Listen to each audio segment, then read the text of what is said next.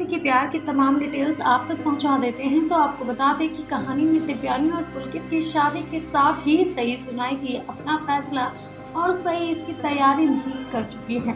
जी हाँ सही को ये मालूम है कि अगर वो देवयानी और पुलकित की चुपके से शादी कर पाएगी तो इसका नतीजा बहुत ही भयानक हो सकता है, जहाँ वो अपने परिवार से अलग हो सकती है, विराट सर से अलग हो सकती है। तो इसकी तैयारी ऑलरेडी सही कर चुकी है, जिसका फैसला वो अब आने वाले दिनों में सुनाएगी।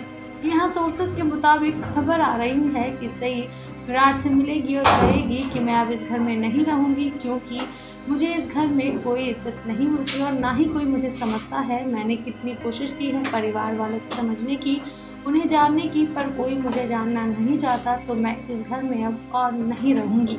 अब सही का यह फैसला किस कदर बदलेगा, पूरी कहानी को ये देखना होगा। काफ़ी बाकी के अपडेट जानने के लिए सब्सक्राइब कीजिए हमारा चैनल।